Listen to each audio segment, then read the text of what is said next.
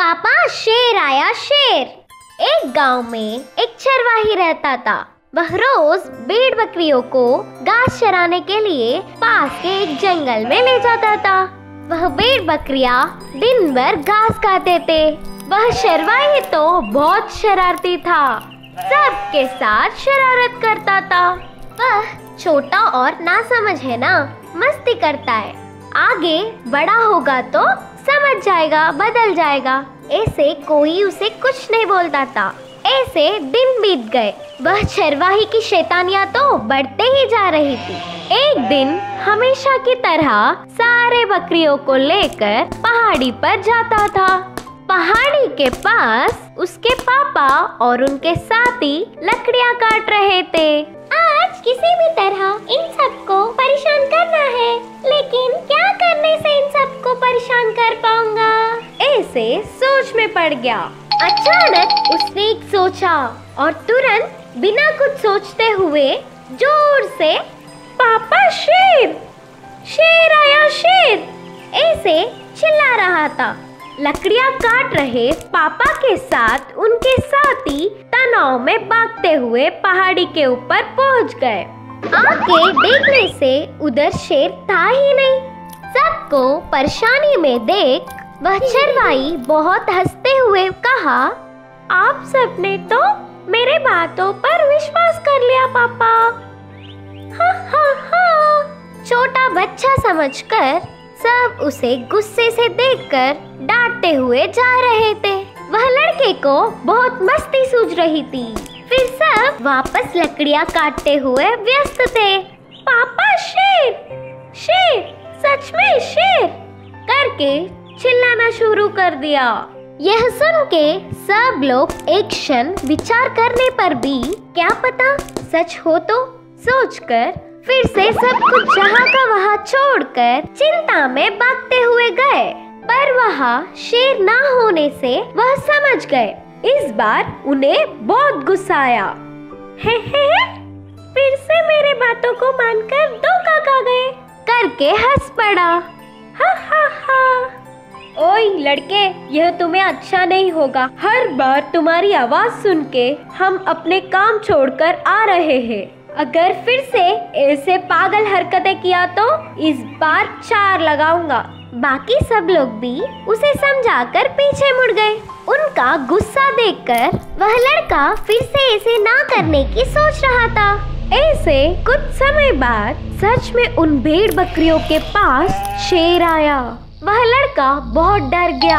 वह तुरंत शेर से बचकर पास के एक पेड़ पर छिड़कर बैठ गया। फिर ज़ोर से, पापा, शेर शेर शेर आया, शेर, सच में शेर आया। पापा, शेर, कोई मुझे बचाओ बचाओ। चिल्ला रहा था। वो आवाज़ सुन के पहाड़ी के नीचे काम कर रहे लोग, ले, फिर से ऐसे ही मस्ती कर रहा है। सोचकर इस बार कोई मदद करने गया ही नहीं। सब अपने अपने काम में जुट गए। शेर एक बकरी की शिकार करके ले गया। उससे भयभीत होकर खाना पीना सब कुछ छोड़कर पूरा दिन रोते हुए पेड़ पर ही था। शाम होने पर भी बेटा घर न पहुँचने पर पापा उसे ढूंढते ढूंढते पहाड़ी के ऊपर गए। पापा को देखते ही वह लड़का पेड़ से नीचे उतरकर, पापा बहुत बुलाने पर भी कोई नहीं आया। मैं बहुत डर गया। बोलकर रो रहा था।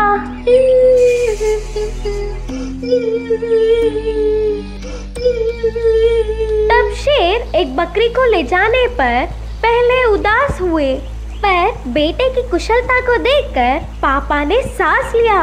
अगर एक बार तुम्हारा झूठ पकड़ा गया तो तुम्हारे सच बोलने पर भी कोई फ़ायदा नहीं। दिन से वह लड़के ने कभी झूठ नहीं बोला। इस कहानी से यह सीख मिलता है कि हर वक्त सच ही बोलना चाहिए। अच्छे संस्कारों वाला बेटा।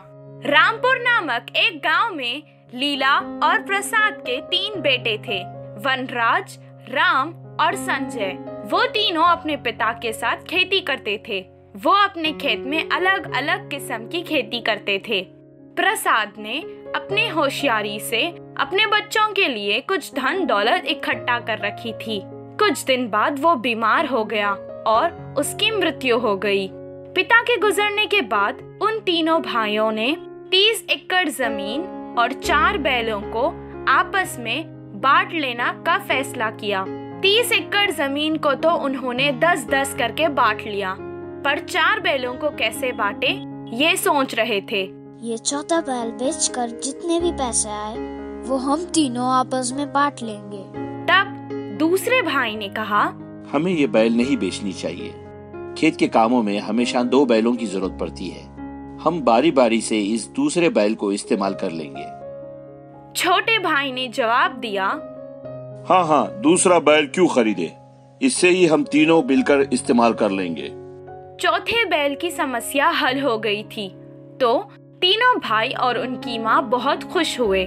जब जब उन्हें दूसरे बैल की ज़रूरत पड़ती थी तो वो चौथा बैल अपने साथ ले जाते थे। कुछ दिन बाद उन दोनों ने देखा कि राम रो रहा था। दोनों भाई उसके पास आकर उसके रोने की वजह पूछने लगे। तब उसने जवाब दिया कि उसका बैल मर गया है। तब संजय ने उससे कहा, परेशान मत हो। भाई, हमारा चौथा बैल है ना? आप उसको ले लो। वनराज ने भी उसकी बात पर हामी भर ली। दोनों के इस फैसले से राम बहुत खुश हुआ। एक बैल से काम नहीं चलेगा कहकर कुछ दिन उसके चौथे बैल के साथ संजय का बैल भी ले गया। ऐसे ही कुछ दिन गुजर गए। कुछ दिन बाद संजय को अपनी बैलों की ज़रूरत पड़ गई। तब वो अपने बड़े भाई के पास गया और उससे उसकी बैल मांगने लगा। तब बड़े भाई ने जवाब दिया तुम बहुत गलत समय पर आए हो। कल ही मेरे बैल का पैर टूट गया है। वो दुखी मन से कहने लगा, तब वो राम के पास गया। उसने भी अपने छोटे भाई को बहाना बनाकर बात टाल दी। कुछ दिन बाद लीला की तबीयत भी खराब हो गई और वो अपने तीनों बेटों को अपने पास बुलाकर कहने लगी, बेटा, मुझे लगता है कि मेरे पास अब ज़्यादा समय नहीं है। तुम तीनों मुझसे वादा करो कि हमेशा साथ मिलजुल कर रहोगे। इतना कहकर वो अपने हाथ से चार सोने के सिक्के अपने छोटे बेटे संजय को देने लगी। तब राम ने कहा सारे सोने के सिक्के संजय को देना इंसाफ नहीं है माँ। वनराज भी कहने लगा इसमें हमारा भी तो कुछ हिस्सा होना चाहिए। माँ ने जवाब दिया तुम दोनों तो इंसाफ की बात ही मत करो। तुमने तुम्हारी बैल बेच दी और इनसे कहा कि वो मर गई हैं। और तुमने चौथी बैल भी ले ली और वनराज, तुमने संजय की बैल कितने बार इस्तेमाल की? पर जब उसे तुम्हारी बैल की ज़रूरत थी, तब तुमने भी तो बहाने बनाए ना? तुम धोखेबाज नहीं, पर तुम्हें इंसाफ भी तो नहीं किया। लेकिन संजय ने हमेशा तुम दोनों को अपना बड़ा भाई माना है। तुम्हारी इज़्ज़त की और जब भी कोई मेहमान तुम्हारे पास आता था तो तुम उससे मुँह फेर लेते थे। संजय हमेशा उनका आदर सत्कार किया करता था। मैंने उसे तुम्हारी सारी सच्चाई भी बता दी थी। तब संजय ने कहा कि मेरे बड़े भाई हैं वो। अगर वो ऐसा कर रहे हैं तो ज़रूर उनकी कोई मुसीबत होगी। वो जितना भी कमाता, उससे अपना और अपने परिवार का ख्याल रखता था। इसीलिए मैं ये सोने के सिक्कों को अपने अच्छे संस्कारों वाले बेटे को ही दूँगी। ये मेरा स्त्री धन है। इस पे सिर्फ़ मेरा ही हक है। माँ के ये फैसले को सुनकर दोनों बड़े भाई शर्मिंदा हो गए और अपने छोटे भाई के जैसे ही बनने लगे। इस कहानी से हमें ये शिक्षा मिलती है कि किसी जरूरतमंद की मदद करना भी अच्छे संस्कार है। पुरुष कबूतर की हिम्मत। एक गाँव में सावित्री नाम की भक्त रहती थी। उनके घर के आँगन में ही एक बड़ा सा पेड़ था और उस पेड़ पर कबूतरों का जोड़ा रहता था। वह जोड़ा हमेशा खुशी से साथ साथ रहता था। खाने के लिए हो या घूमने के लिए, वे दोनों साथ ही जाते। उनको कभी भी खाने की कमी नहीं होती। हर दिन भक्त सावित्री के हाथ से बनाए हुए प्रसाद को खाकर बिना किसी परेशानी या चिंता से खुशी से रहते थे। और सावित्री भी उनकी बहुत अच्छे से ख्याल रखती। उधर पास के एक पहाड़ी पर एक बाज रहता था। उसकी नज़र हमेशा अच्छे से दिखने वाले उन कबूतरों के जोड़े पर ही थी। इन कबूतरों का किसी भी तरह शिकार करने के लिए उसने एक चाल चली और उड़ता हुआ आकर घर के छत पर बैठ गया। उन दोनों कबूतरों में से किसी एक को तो उसे उठा ले जाने की आशा थी। तभी सावित्री घर से बाहर निकलकर उस पर लाठी फेंकने पर बाज उसकी चाल ना चल पाया। वह सब कुछ देखने वाली स्त्री कबूतर ने अपने पति से कहा, आपको पता है क्या? वह बाज पूरे दिन हमारे लिए देख रहा था। हम इधर से कहीं दूर चले जाएँगे तो अच्छा होगा। करके बोली।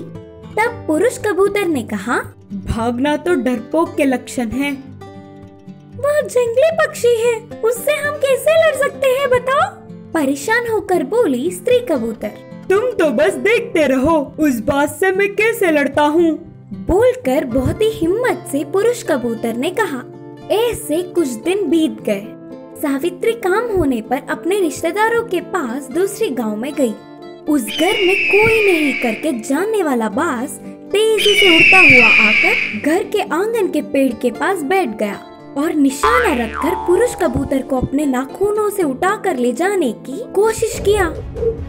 फिर भी बिना डरे पुरुष कबूतर बास के साथ बहुत ही हिम्मत से लड़ने लगा। ऐसे बास और कबूतर के बीच बहुत देर तक मानो एक छोटा सा युद्ध ही हुआ। उसी तरफ़ आए हुए एक बूढ़े आदमी ने वह देखकर बास के ऊपर ज़ोर से एक पत्थर फेंका। इससे टूटी और वह कबूतर को छोड़ भाग गया।